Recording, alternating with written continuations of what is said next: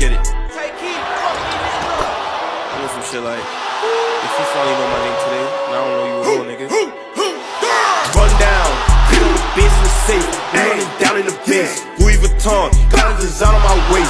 I made a million.